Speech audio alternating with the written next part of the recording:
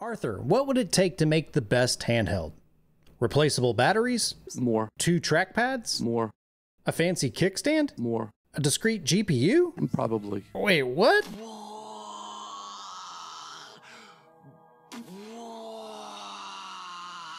Hey guys, Terk here. Hope you're having a good one. You heard me right. A handheld with a discrete, dedicated graphics card. How on earth is this even going to be possible? Man, my head's still spinning from the announcement, but let's not get ahead of ourselves. At the end of June, AYANEO CEO Arthur unveiled the AYANEO Next 2, the world's first Windows gaming handheld with a discrete GPU. Despite some early onset confusion, mainly due to some language barriers, Arthur has come forward and come up with a little bit of clarification. He's floating two different options around, one being a removable and replaceable GPU module similar to something we've seen from the likes of the Framework laptop. The second solution has a dedicated GPU on the motherboard, just like we see with laptops, but they do have a removable battery. While both of these options are still on the drawing board and we haven't really heard much about it, my mind is still exploding that we're going to get a dedicated graphics card inside of a handheld. With this announcement, there are two variants to the AYANEO Next 2, one based off of an Intel and the other with an AMD solution. For Intel, they're going to be using an Alder Lake mobile part and an Intel Arc based mobile GPU, likely the A370M that rocks 35 watts. Ain't nobody got time for that. But today, I'm going to be focusing more on the AMD variant, mainly because here on the channel we've talked about and we understand how these parts perform, and in fact, I have some hardware that I can get my hands on. In powering the device, AYANEO is sticking to a well-known Ryzen 6000 series mobile CPU. We don't know exactly which processor they're going to be using, but it's highly likely that they're going to either use the 6600U or the 6800U. This CPU also has a built-in GPU with the Radeon 660 or 680M, but that will not be the primary graphics solution. Of course, the star of the show is going to be its GPU solution, and it's going to be powered by the latest RDNA 2 mobile GPUs. The current speculation is that we're going to see something in the 50 watt range, such as a 6500M or a 6600M. Of course, AYANEO remains tight-lipped on this detail, though it is a starting point for our minds to ponder. So how on earth is a device like this even possible? right at the top of my head, I've got three major problems with this device. Given the rough specs of the device, we're looking at anywhere between 65 and 100 watts of power consumption that the AYANEO Next 2 is going to consume, and that is absolutely absurd. That's in the same ballpark as some entry to mid-range gaming laptops. Even if we can cram that amount of hardware into an 8-inch form factor, battery life, whew, it's going to be extremely low. Even with the largest batteries and the latest handheld devices, you're looking at right around one hour of playtime. With power consumption ramping upwards of 50 watts, we always have to remember we actually have to cool the device. Looking back at the gaming laptop example, sure, a solution could be possible, but there needs to be sufficient air volume and heatsink contact area to pull the heat off of the device. But if AYANEO manages to get a dense enough heatsink as well as two fans that are able to pump some pretty high static pressures, I don't think it's impossible. Heck, this server heatsink that I got here from my old job, it's pretty dense itself and it's able to cool a 100 watt power supply. Granted, it's about 2 pounds of solid copper. Given the already high price tag for those top shelf handheld devices out there, I'm guessing that this device, the AYANEO Next 2, is going to cost anywhere upwards of about 1200 USD. And judging by similarly spec'd gaming laptops, those cost anywhere between $800 and $1,600 US. Despite the weird form factor, this device, it could be well suited for a true PC replacement. But if you're looking for a mobile gaming system that could double as a desktop replacement with a USB hub, this AYANEO Next 2 is definitely a good contender compared to the GPD WinMax 2. So you might be asking yourself, Terk, how on earth is this actually going to perform? Well, Arthur's not the only madman here. I've got 14 years of product development experience under my belt. So let's uh, take a look at the shelf and see what we got. Now the first thing I've got here is the Asus Zephyrus Duo 16. This is their latest model that's packed with the 6900HX. The 6900HX is a higher frequency 8 core offering from AMD with their Ryzen 6000 series, and it's very similar to what the AOKZOE and the other high end handhelds have coming to market. It also has the Radeon 680M, though it is pushing a faster clock speed compared to the 6800U. But since we've got this laptop and Asus has all the bells and whistles to get it overclocked, we're going to be able to tune its TDP ranges to see just how far these APUs are able to push themselves. Of course, we have to throw some dedicated desktop hardware at the problem, and my Hackendeck is here to save us once again. It has evolved since you've last seen it here on the channel, of course, with a dedicated graphics card. The benefit of using desktop hardware here is I can dial in my TDP for both the CPU and GPU to try and hit the aggressive TDP targets of the Ayaneo Next 2.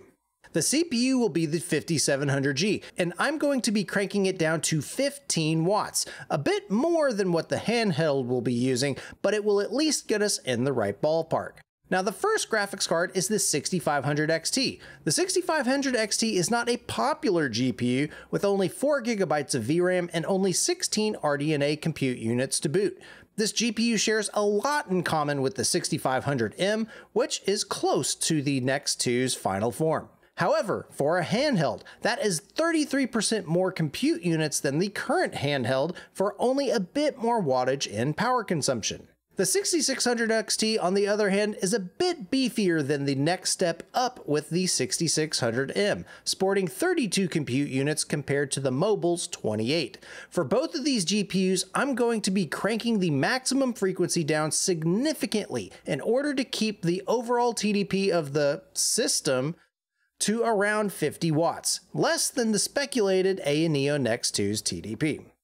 All of my testing today is going to be running at 1200p because if you look at the spec sheet from previous videos, that seems to be the most popular resolution for the next generation handhelds. Sorry, Ain, you're the odd man out. As for detail settings, I'm going to be sticking to either low or medium detail settings because that seems to give us the best performance with our handheld devices. But with this much horsepower, and as you'll see in the charts, there's definitely going to be some room to increase the eye candy just a bit. Starting with Forza Horizon 5, we have the Radeon 680M APU on the top half of the screen at its various TDPs, and the bottom we have the dedicated GPUs. For the integrated graphics solution, as we increase past the default 28 watts of the part, we only managed to gain an additional 13% of performance with an increase of over 61% of power consumption. Even worse, we don't gain any additional performance when increasing the TDP to 60 watts, suggesting that we're at the max that this little APU can dish out. Shifting gears to the discrete GPU, we get an amazing 53% performance improvement while only increasing our power consumption window by 12 watts. Now that might seem like a lot, but holy cow, that is a lot of performance for so little wattage. In this use case, the 6500 XT manages to hit 2145 MHz on its GPU clock rate, which is just a hair shy of the 6500M's game clock speed. I think we hit the nail right on the head here, my friends. Interestingly enough though, the 6600 XT at a similar wattage, I had to dial back the 6600 XT to 793 megahertz. You heard me right, megahertz, in order to maintain the same wattage. I do expect that the 6600M would perform similarly, though not at such drastic of clock speeds. Forza is a DirectX 12 title, so what happens when we switch over to a GPU-heavy Vulkan title with Red Dead Redemption 2?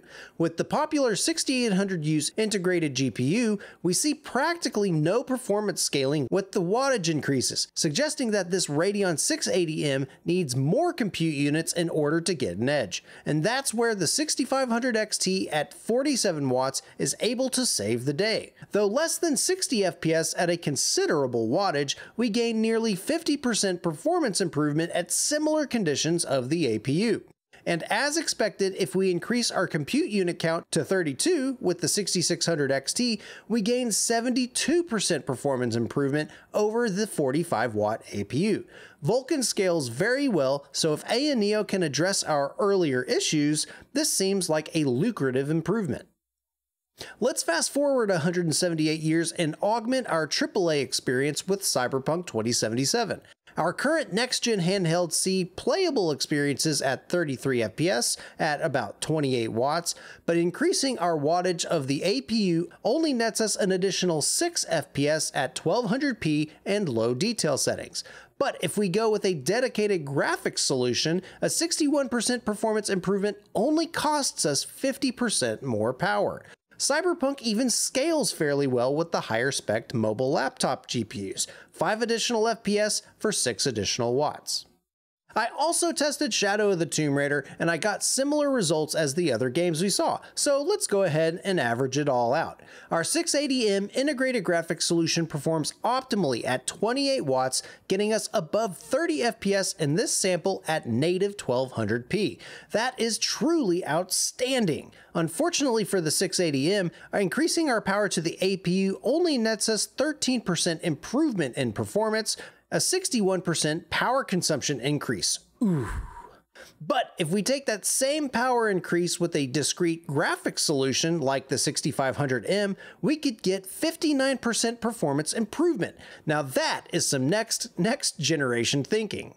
Now that I've inundated you with a whole bunch of numbers, let's take a step back real quick and see what we've been able to achieve. We've been able to validate that with a discrete graphics card solution at similar wattage levels, we are able to outperform what our current generation APUs are able to deliver, all at the cost of some additional wattage. Keep in mind, we have to account for the screen, the RAM, and other system components in our power consumption calculation, but that's effectively constant in our comparisons today. Running at 45 watts plus some change, a 65 watt hour battery can easily power this type of device for at least an hour. And given the target form factor, swappable batteries, and the portability, this type of device isn't all that unreasonable. Let's not forget, but Ayaneo has the ability to limit the power ceiling of the devices even beyond what we've tested today. Though I would have to do a few more tests, it's not unreasonable to think a 30 watt variant with a 15 watt 6600U and a 15 watt 6500M couldn't perform better than the 6800U's APU. But let's level ourselves in reality for just a second. All the things we've talked about today are pure speculation and it's based off of some rather vague information from the CEO. I have no idea how they're actually going to implement a swappable GPU solution, and I have no idea how they're planning on actually cooling 40 or more watts inside of a handheld device. But what I can say for certain is that this type of device is truly pushing the limits of product development, further blurring the lines between specifications and integrations. Given a problem in a set of tools, Ayaneo aims to shatter our expectations for future generations of handheld devices. And with RDNA 3 and future architectures around the corner, this type of device will pave the way for an amazing handheld future. And hopefully, not drain my bank account. But that's all I have to say about the AYANEO Next 2. Let me know down in the comments if I missed anything or if there's anything that we should revisit in the future once we get a few more bits of information from Arthur. As always, y'all can follow me over on Twitter at the Terk in order to get the latest memes and all of my different product reviews getting linked as soon as they get posted. And go check out the community tab. I'll be posting some polls over there to see what you guys want to see for our next video. But as always, thank you guys for sticking to the end of the video. I hope you have a good one. We'll catch you in the next one.